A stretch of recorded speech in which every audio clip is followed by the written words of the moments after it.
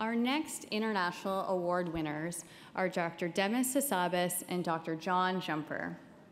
Together, they are being awarded for developing AlphaFold, which has been heralded as an AI-based solution to the 50-year grand challenge of protein structure prediction and has culminated in the release of the most accurate and complete picture of the structure of the human proteome with enormous potential to accelerate biological and medical research.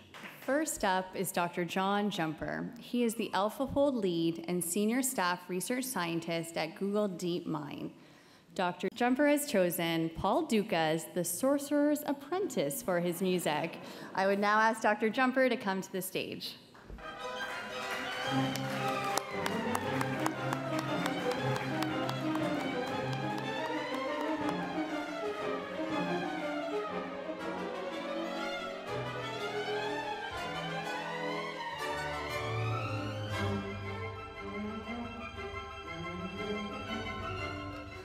How extraordinarily exciting.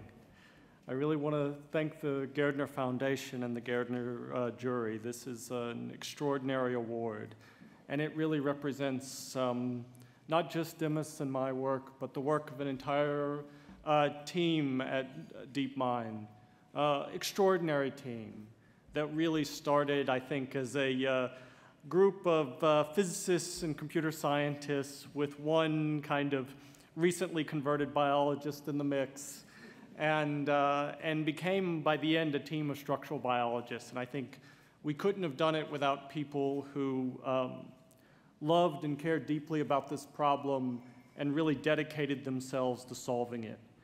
And the work is so important. It is so very important that we develop computational biology, that we're able to use AI to understand the world the world of biology is so big and so important and so important to our health that we need tools to meet this complexity. We need to be able to solve these problems because at the end of it, our understanding of biology means that people will be healthy who would otherwise be sick, that lives can be saved and lives can be better. And I can't think of anything more gratifying than the work that uh, has been done using uh, the tools of AlphaFold in so many creative ways. And really, these applications, all the ways in which, you know, even coming to the Gairdner events and having incredible scientists coming up and having ideas about how they might use structure prediction to aid their own work. That's the best part. My favorite thing is to find a new paper in Nature and Science, a new discovery uh, that was made using our tools and was made without us, that it shows the power of computation to build new platforms on which great scientists can stand. And uh, ultimately, I think it's, it's the most important thing.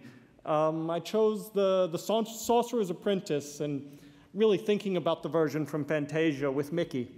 And uh, because it's such, uh, I think, a wonderful parable. He finally discovers the ability to automate the hard parts of his job, you know, that he, he fills the buckets with water and soon they are overflowing. Now, it doesn't go so well at the end and he has to be rescued. but we're, we have an abundance. We have new tools. We have 200 million predicted structures. We should do incredible things with this overflowing amount of knowledge. And I see every evidence, and I see it in journals every day, that we're doing so. And so I think it's the most extraordinary thing, and I think that it will make biology go faster, and that will, the world will care. Thank you very much.